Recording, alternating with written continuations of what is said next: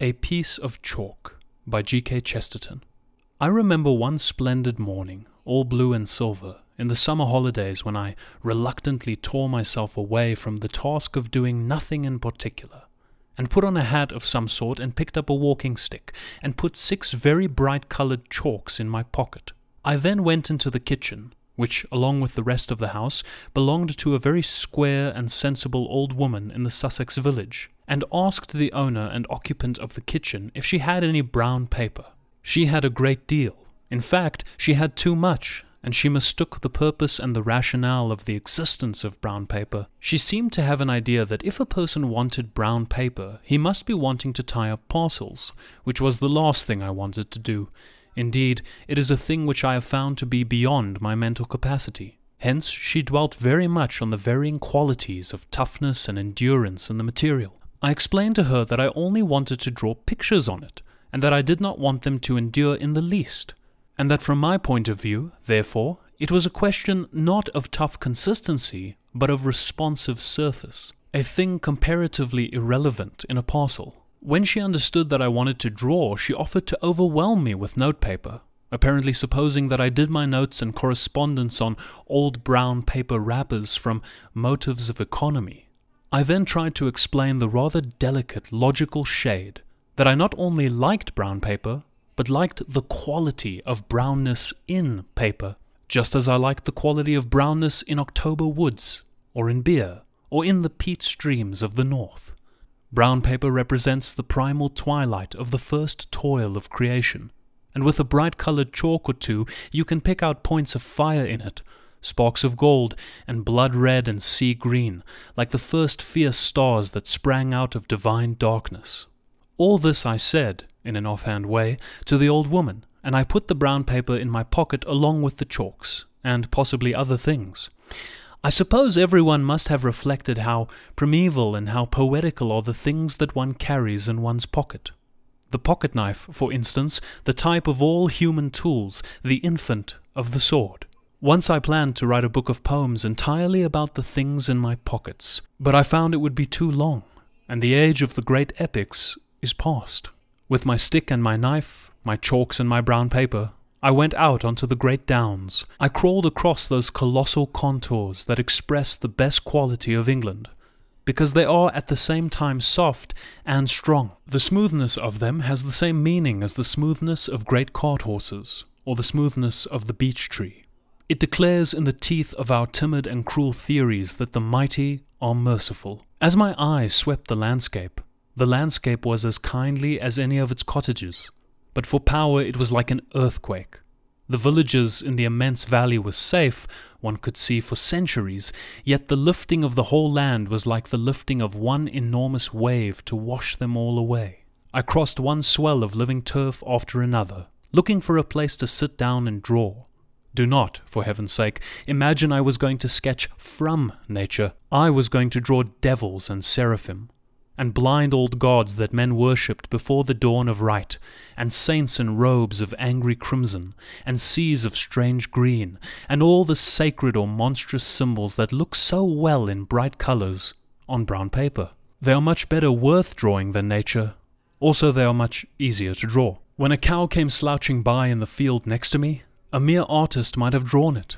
But I always get wrong in the hind legs of quadrupeds, so I drew the soul of the cow, which I saw there plainly walking before me in the sunlight.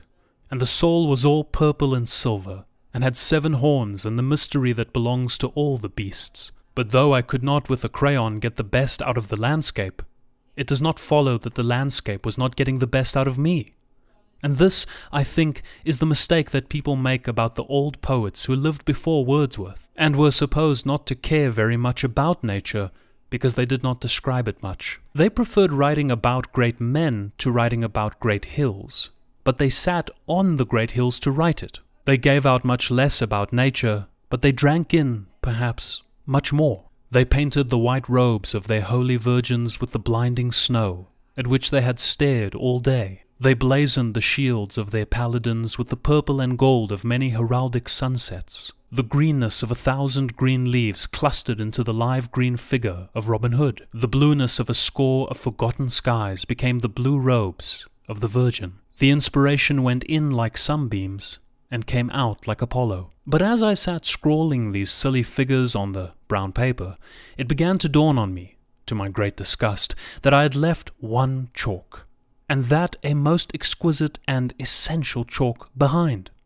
I searched all my pockets, but I could not find any white chalk. Now, those who are acquainted with all the philosophy, nay, religion, which is typified in the art of drawing on brown paper, know that white is positive and essential.